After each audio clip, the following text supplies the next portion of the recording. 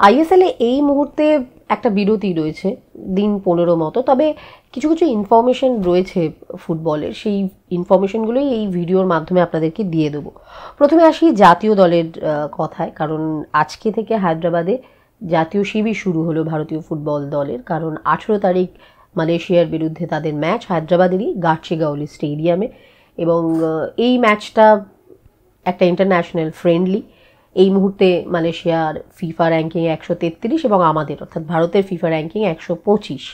Last time এই দুটো team মুখোমুখি হয়েছিল দু হাজার তেইশে মার্ডেকা কাপে এবং সেই ম্যাচটা কিন্তু মালয়েশিয়া জিতেছিল। খুব সম্ভবত চার দুই ফল ছিল ম্যাচটার তো ন্যাচারালি এই ম্যাচটা একটা উত্তেজনাপূর্ণ ম্যাচ হবে এবং কম্পিটিটিভ ম্যাচ হবে এটা এক্সপেক্টেড কারণ দুটো টিমের ফিফা র্যাঙ্কিং খুব কাছাকাছি এবং অতীত রেকর্ডে একটা লড়াই দেখা যায় ম্যাচটায়। যদিও এবার ক্যাম্পের ক্যাম্প শুরু হওয়ার আগেই কিন্তু অনিরুদ্ধ থাপা এবং বিক্রম প্রতাপ সিং দুজনেই ছিটকে গেছেন চোটের কারণে। তারা ক্যাম্প জয়েন করতে পারেনি। তো ন্যাচারালি কোচ মানুলো মার্কোয়েসকে ভাবতে হবে তার নতুনভাবে টিম সাজাতে হবে। সেটা অবশ্য পুরোপুরি ডিপেন্ড করবে। এই যে সময়টা তিনি পাচ্ছেন দিন সাতেক মতো, তাতে তিনি কোন ফুটবলারকে কীভাবে পাচ্ছেন এবং কে কী পরিস্থিতিতে জয়েন করছে ক্যাম্পে কতটা, যেভাবে ফার্স্ট ইলেভেন তৈরি হয়, সেই দিকটা খেয়াল রেখেই অবশ্যই এই টিমটা তিনি সাজাবেন বাট এই দুজন ফুটবলার আনঅ্যাভেলেবেল এবং যে প্রশ্নটা অনেকে থাকে যে এই ম্যাচটা দেখা যাবে কি করে, কারণ অনেক সময় ইন্ডিয়া টিমের ম্যাচ আমরা টেলিভিশনে দেখতে পাইনি বাট লাকিলি এই ম্যাচটা আমরা টেলিভিশনে দেখতে পাবো এবং সেটা স্পোর্টস এইটিন চ্যানেলেই দেখানো হবে। তাদের যে চ্যানেলগুলো রয়েছে, তার যে কোনো একটাতে যেভাবে আইএসএল দেখানো হয় এবং একই সঙ্গে জিও সিনেমা অ্যাপে যেভাবে আইএসএল দেখা যায়, এই ম্যাচটাও দেখা যাবে। তো ইন্ডিয়া ম্যাচ এবার দেখা যাবে এবং টেলিভিশনে দেখা যাবে, এটা একটা ভালো খবর আমার মনে হয় ফুটবল প্রেমীদের জন্য।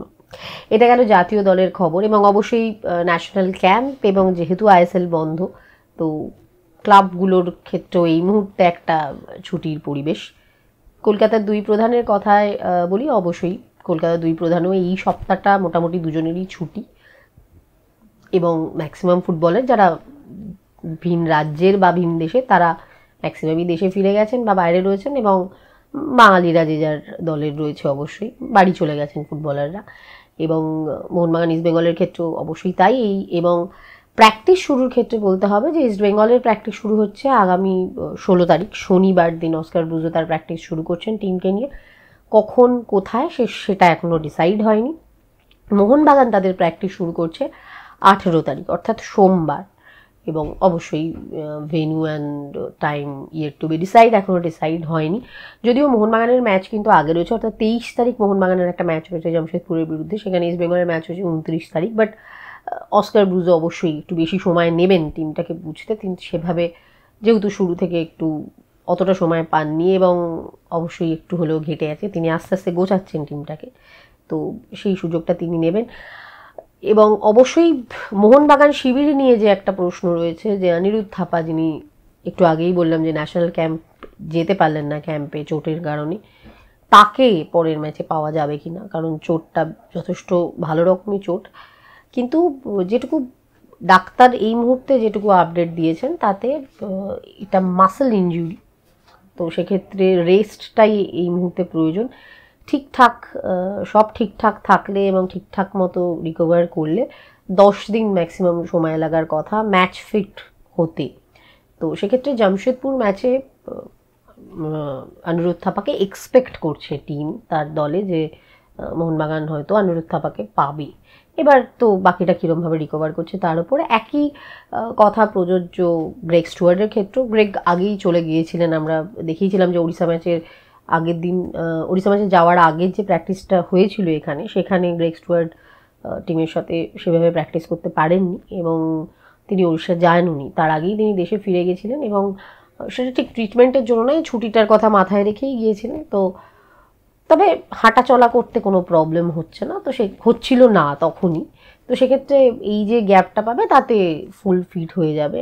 অন্তত টিম ম্যানেজমেন্টের এরকমই এক্সপেকটেশন তো সেক্ষেত্রে জামশেদপুর ম্যাচ যেটা রয়েছে এরপর মোহনবাগানের তেইশ তারিখ, সেই ম্যাচে গ্রেক স্টুয়ার অনিরুদ্ধ থাপাকে সুস্থ অবস্থায় দলে পাওয়া যাবে এখনও পর্যন্ত। টিম ম্যানেজমেন্টের এটাই এক্সপেকটেশন এবার বাকিটা তো সব কিছু সময় বলবে।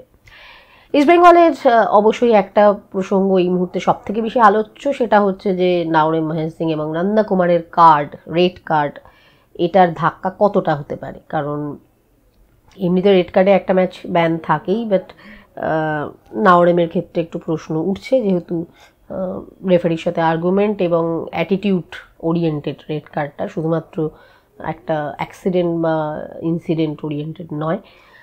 সেক্ষেত্রে এক প্রশ্ন উঠছে। তবে বিষয়টা ডিসিপ এখনই খুব ভয় পেয়ে যাওয়া বা এখনই ধরে নেওয়া যে দীর্ঘদিন বাইরে এমনটা সময় আসেনি, কারণ কোনো ডিসিশন এখনও এই ব্যাপারে হয়নি। ইনফ্যাক্ট ডিসিপ্লিনারি কমিটি ব্যাপারটা দেখবে এবং তারা তাকে কীভাবে সেটাকে ট্রিট করবে সেটা ডিপেন্ড করছে। কারণ আমের জাহুর ক্ষেত্রে কিন্তু আমরা দেখেছিলাম যে এক ম্যাচের বেশি হয়নি।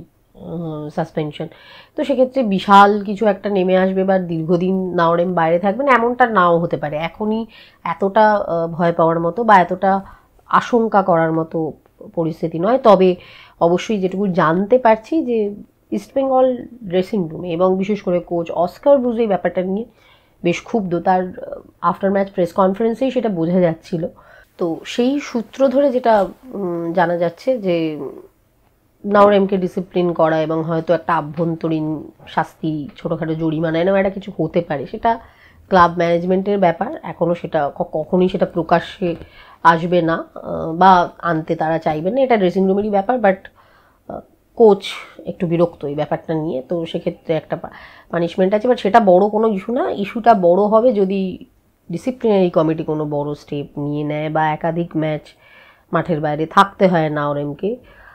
যে ঘটনাটা ঘটেছে তাতে এটা হলেও হতে পারে। তবে এখনই আশঙ্কা করার কিছু নেই। নন্দার সাসপেনশনের ক্ষেত্রেও ব্যাপারটা একই রকম এবং নন্দার ক্ষেত্রে কিন্তু এক্সপেক্টেড একটাই ম্যাচ সাসপেন্ড হওয়া। কারণ ওই একমাত্র ওই যে কলিশনটা হয়েছে, যে ট্যাকেলটা হয়েছে বা হাত চালানো, যেটার কারণে কার্ড দেখেছেন, তারপর সেটা নিয়ে কোনো আর্গুমেন্ট বা যে অ্যাটিটিউড বা বিহেভিয়ারাল ইস্যু ছিল না।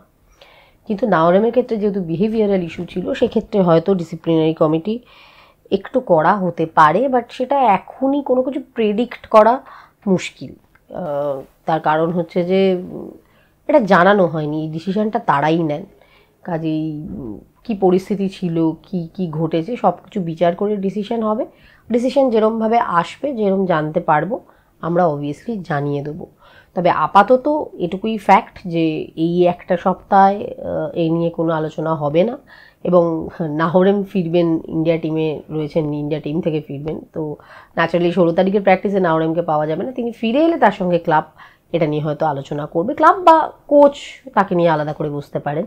এক্ষেত্রে জেনারেলি কোচকেই দেখা যায় যে বিহেভিয়ারাল ইস্যু হলে প্লেয়ারের সাথে কোচ বসেন, তার বোঝাবার চেষ্টা করেন। এরকম কিছু একটা ব্যাপার। হতে পারে, সেটা সময় বলবে। তবে ষোলো তারিখ অনুশীলনের নাম ওয়েস্ট বেঙ্গল এবং তারপর যা ইস্যু আসবে সামনে সেরকম হ্যান্ডেল হবে এবং আঠেরো তারিখ অনুশীলন শুরু করবে মোহনবাগান সুপার জায়েন্ট জাতীয় টিম দলে যারা রয়েছেন তারা ম্যাচ শেষ হলে সময় মতো দলের অনুশীলনে যোগ দেবেন। এই ছোটোখাটো কয়েকটা ইনফরমেশনই দেওয়ার ছিল এই ভিডিওর মাধ্যমে। ভিডিওটা যদি ভালো লেগে থাকে লাইক করুন শেয়ার করুন এবং অবশ্যই কমেন্ট করুন আপনাদের মতামত জানান আমাদেরকে আর সাবস্ক্রাইব করুন আমাদের চ্যানেল অলস্পোর্ট টিভিকে